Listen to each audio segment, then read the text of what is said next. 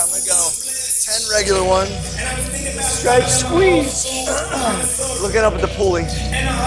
Four, five, six, seven, eight, nine, and then 10 ISO. One, two, really fight your form. Four, squeeze up, up mid back. Seven, eight, nine, ten, and then 10 bottom bumps. One, two, three, four, five, six, seven, eight, nine, ten.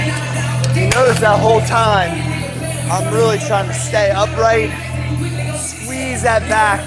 Then when I'm ISO, I'm fighting that form even more. Then the last 10, I'm just trying to re-engage that uh, those shoulder blades, squeeze them together, make your back nasty. Give it a try.